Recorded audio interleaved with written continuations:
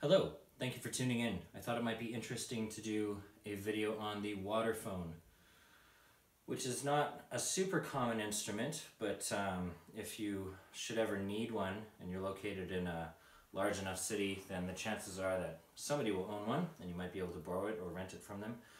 So this is a smaller waterphone, but it certainly still does everything that we need it to do. Uh, the waterphone was invented by an American artist and acoustic engineering enthusiast by the name of Richard Waters, which I suppose accounts for some of its name. Um, and uh, but also it involves water sometimes. So sometimes we play it with water.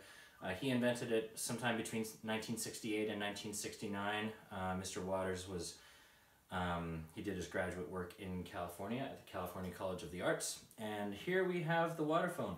Allegedly, he was inspired to develop the waterphone because of a Tibetan drum um, that you would put a certain amount of water in the resonance chamber of in order to distort the resonance. So we're going to go over that. Uh, it, it has another close relative as well called the nail violin. I'm not sure if you've ever heard of that, but it's uh, essentially a flat resonating chamber, like a, about as thick as a textbook and about that big around that has nails sticking out of it. That's one of the configurations anyway, and you would bow the nails. So the waterphone, when it is uh, played by striking it, it's uh, referred to as a fric uh, sorry a struck idiophone, and when it's played with bowing it, it's referred to as a friction idiophone. And an idiophone is of course an instrument that uh, produces its sound, typically a metal instrument that produces its sound by virtue of the entire instrument resonating. So First we're going to talk about um, striking it and bowing it. For this you'll need a bow. I'm going to use a bass bow and I'm just going to tighten it up. And you'll probably need some rosin as well. So I've got some rosin here. It's not the greatest rosin, but I'm not a professional bass player, so I'm, uh, I'm using what's at my disposal. You can breathe on it a little bit and then just rub it down the hair of the bow. And there you have it. Now our bow is ready to go. So first we're going to talk about playing it without water. Sometimes you'll actually be asked to put water in the waterphone. Sometimes you'll be asked to not put water in the waterphone by the composer who wrote the piece that you're going to play. Um, so in any case, you can strike the waterphone on the bottom with a soft mallet as long as you do it gently. And you can also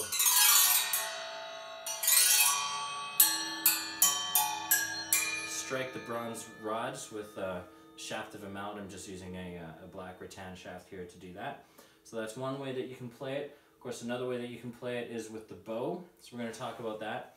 Find that you're going to get the, uh, you'll find that you'll get the loudest result out of the instrument when you bow it closest to the resonance chamber.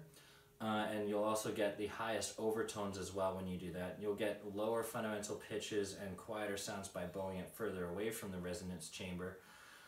You'll want to press the bow against the rod um, that you want to play hard enough that it, you can feel it sticking, you can feel the, the uh, tree sap, the rosin grabbing on, but then pull back gently so that you're not actually dampening it by playing it, but you're pulling back getting a nice smooth tone out of it.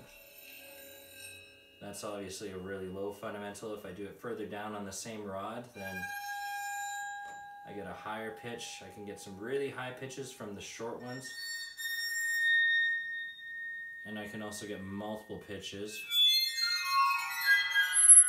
by spinning the instrument around as I play it. So there's the waterphone without water. The waterphone with water, uh, we would just add a certain amount of water. Essentially the resonance chamber is empty. Um, this rod is also hollow and goes directly into the resonance chamber. It's not plugged off and that allows the instrument to resonate. It's just like an acoustic guitar where you have a box and you have a hole in it so that the sound can go in, bounce off all the walls, and then come out again.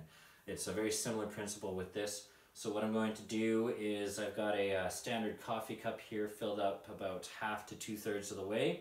Coffee cup from the Banff Center one of my favorite places to have studied and to have taught. And I'm just going to add some of the water into the instrument until I get it sounding the way I want it to sound. And even when I just strike it with my hand, you can hear how it distorts the resonance of the instrument. So now if I strike it,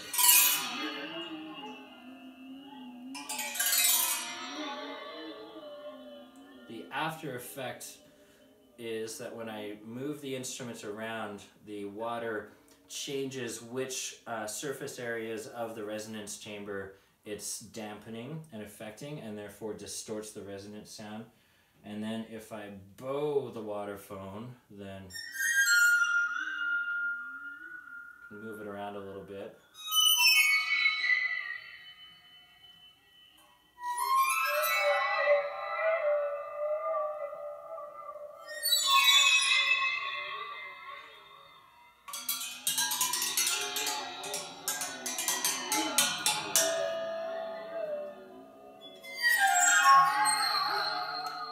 Pulling the bow up as I go so that I'm getting a variety of different sounds out of it. Um, everything from super high shrill overtones to lower fundamental pitches. And uh, yeah, essentially I'm just trying to create ambient effects with it. Um, I'm playing the instrument relatively aleatorically, which is what you'll most often find uh, in a score in which you're being asked to play the instrument. And that's a little bit about the waterphone. Hope you enjoyed watching. Thank you very much.